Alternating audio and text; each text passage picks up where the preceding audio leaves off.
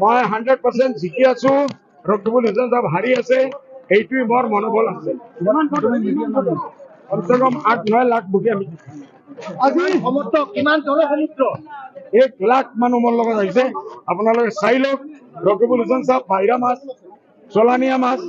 মই লোকেল বিশ মই বৰছে কমচে কম একশ বাৰ আহোঁ ৰকিবুল হুছেইন চাহাব বিশ বছৰৰ ভিতৰত বিশ বাৰ।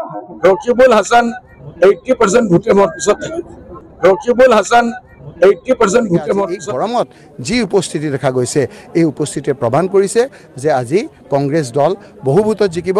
চেঙা সমষ্টিত আজি যে শিলদৌল ভাঙি ৰাইজ আহিছে সেইটোৱেই নহয়।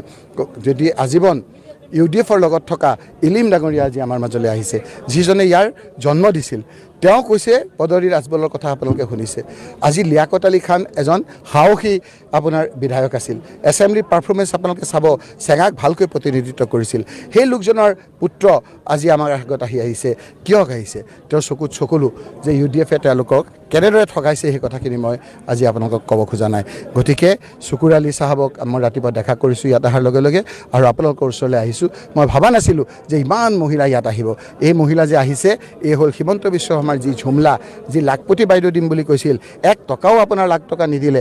নিদি সেই মানুহবিলাকৰ এতিয়া ফৰ্মবিলাকত কৈছে যে দুটাতকৈ বেছি ল'ৰা ছোৱালী হ'লে তেওঁ নাপাব। এই কথা তেওঁলোকৰ প্ৰশ্ন যে কিহৰ কাৰণে আপোনালোকে ফৰ্মখন দিয়াৰ আগত এই কথাবিলাক নক'লে। এইখিনি মানুহ যিখিনি মানুহক তৰুণ গগৈৰ দিনত আত্মসহায়ক গোট কৰিলোঁ আমি পঞ্চায়ত মন্ত্ৰী ৰকিবুল হুছেইন থাকোঁতে আমি যেতিয়া আত্মসহায়ক গোট কৰি তেওঁলোকক যেতিয়া N R L M national rural livelihood মিছনৰ যোগেদি আছাম ষ্টেট ৰুৰেল লাইভলিহুড মিছনৰ যোগেদি বেংকত যোৱা অভ্যাস কৰিছোঁ সেই মানুহবিলাককে আপোনালোকে লাখপতি দিম বুলি কৈ আজি ঠগাইছে।